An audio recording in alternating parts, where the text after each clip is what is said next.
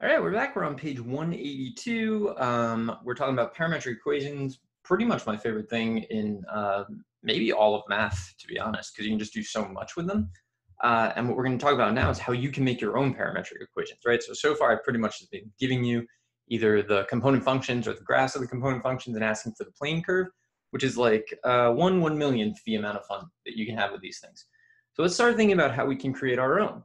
So uh, at their very most basic, all we're going to do is take things that we already know, so plain old plane curves, um, and and rewrite them so that they they kind of like add a little bit of excitement, right? So they pretty much add the element of time, or more specifically, uh, the notion of movement along a curve, and that's where like the fun comes in. So what we're going to do in this particular thing is we're going to focus in on the curve y equals x squared, right? So we all know what y equals x squared looks like, hopefully. Uh, so just by itself, y equals x squared.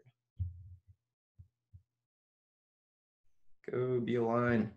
All right, so this is just going to be y equals x squared, just normal, right? Like uh, algebra 1 or 2 or wherever you first meet it. So y equals x squared, it's like this, goes like this, goes like this. Might be the most famous curve. Um, so that's y equals x squared. What we're going to do so we're going to write parametrics for it. The process of writing parametrics or turning a curve into a set of parametrics is called parameterizing a curve. Parameterizing. Uh, some spell checks do not like that word. It doesn't really matter. It's a word. It's a math word for sure. Math verb, I guess. Uh, so we're going to parameterize uh, this curve. So the way we're going to do it in this case, I'm going to tell you what to use. So it's still less fun than you just doing your own thing. By the way, the single most obvious parameterization that you could ever use, and it's the one that you use most of the time, and I did not use it on this page because that's weird, uh, is to just let, so the most common by like miles is to just let x equal t. Just let the independent variable be t. And if you let x equal t, you're going to get x equals t and y equals t squared. And t could obviously be an element of the reals.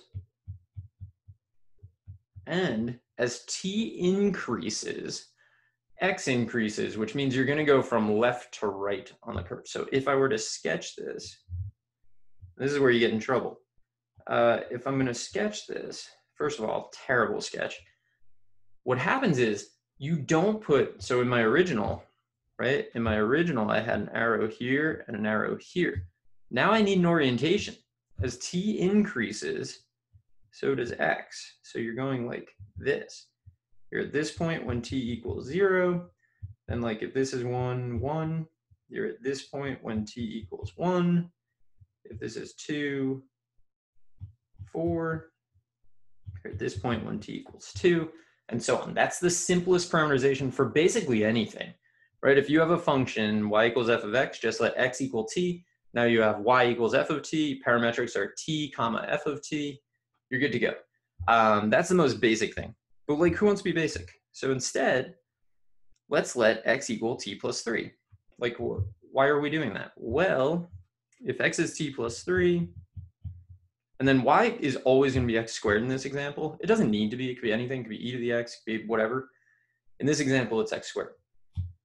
If that's the case, then y is going to be the quantity t plus 3. It's whatever x is, and then square it. So what's happening here? So t, now here's an interesting interaction. So the domain and range.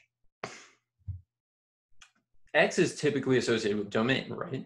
So this domain, how am I going to write this? To get the domain, of this, it's the ring domain of plane curve is range of x of t, right? So in this particular case, since the range of x equals t plus 3, picture x is the picture, why picture? Draw it right? So three, this is x, this is t. uh, kind of looks like this, right? The range of that graph is all reals, which means x can be any real number. So this will be x is an element of the reals. We've actually kind of seen this, so I'm going to go back to uh, the previous notes. Here, for example, so it's this is not a function, but we can still talk about the domain and the range of the graph, I suppose. So here, x is 3 minus 4 sine. The range of this is from negative 1 to 7, which meant that the plane curve is stuck between negative 1 and 7. I think that ellipses and circles are the like best way to think about like to connect information to parametric equations because they're like pretty well behaved and it's not that bad. So here, like the range of this plane curve should be like, what can y do? Well, look at the equation for y. y is 1 plus 3 cosine. 1, and you go up 3, you go down 3. So from negative 2 to 4. And that's what the range of this plane curve is. So let's go back to here so what can uh, what can this do? So for the range, we get that the range of the plane curve is the range of uh, y of t, right? And so this one, it's often easier to just think about the original function, like y equals x squared. You know that uh, the range of that is uh, y is greater than or equal to zero. It's not going to change here. That's that's often the easiest way to do that. Um, so I'm going to say y is greater than or equal to zero. So what does our sketch look like? Our sketch looks like, eh, it almost looks identical to the one that we did for um, x equals t. Uh, why would you, for x equals t? but it's a little bit different because if they were in a race, oh my God, what? if they were in a race, why am I trying to do this in one shot? Ugh. Nope, can't put the arrow at the end. Can't draw anything. Uh, okay, so if, I mean, this is just y equals x squared, but when t equals zero, so when t equals zero, x equals three. So if this is like three and then nine, this is where you are when t equals zero. So if this was a race between these two,